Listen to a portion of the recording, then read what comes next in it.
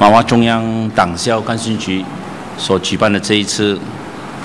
政治演讲征才赛，呃，今天算是圆满的结束，也产生了呃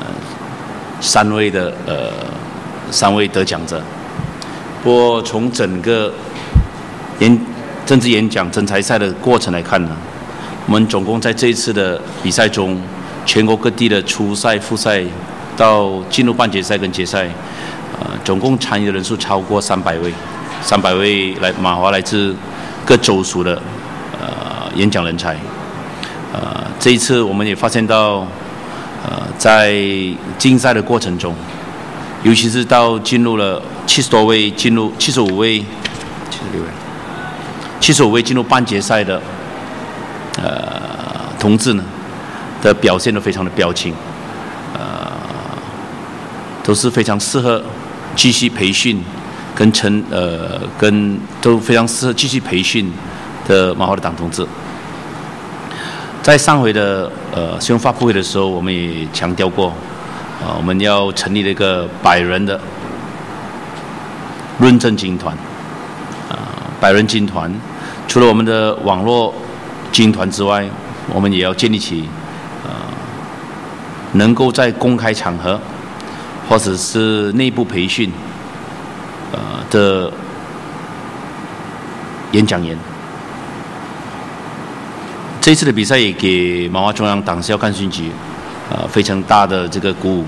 因为之前我们毕竟担心啊，马华给人常提一个印象，包括党领袖本身也觉得，呃我们的是否真的是没有能够呃参与辩论或者是论证的呃马华党同志人才。尤其在基层层次，可是这次参与者年纪的大体上平均年龄都在三十岁左右吧，三十到三十五岁左右。他给这这些年轻的这些参与者的话，呃的态度都非常的心态的态度的心态都非常的正面跟积极，使我们觉得非常的鼓舞。那么这一次的开始之后，加强了我们信心。马华中央党校的话，在来年将继续的举办类似的这个比赛。啊，我们的主要的目的当然是要培训一群。呃，在能够在全国各地有所表现的论证人才。今天我们看到国家的政治局势的发展，呃，整个国家的政治局势，呃，已经沦陷到，尤其是明年，无论是在执政州属，或者是明年做反对党的州属，呃，已经沦陷到这个政治文化，已经下降到已经是。可以说，如果说真的是要拿一些其他国家来比较的话，就是已经进入了像台湾陈水扁年代的陈水扁年代的民进党的那种论证方式，抹黑的文化、歪曲事实的文化、呃以偏概全，甚至连串谎言的方式，并没有面对呃实际课题给正面的评呃辩论的这种政治手腕。已经到了匪夷所思的这个阶段，啊，所以这一次的我们的这个尖锐部队的成立，我们会再继续给他们更多的培训，加上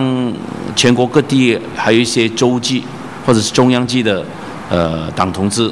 呃，可能这一次来不及参与或者时间上不允许，啊，也不少的同志有跟我个人联络，包括副主任以及呃秘书长，他们。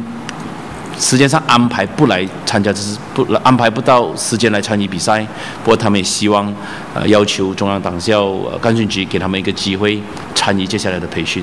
换句话说，马华全国各地的这些基层的领袖，包括州级的领袖，大家都跃跃欲试。我看也主要是因为国家的政治局势的发展，让马华工会的。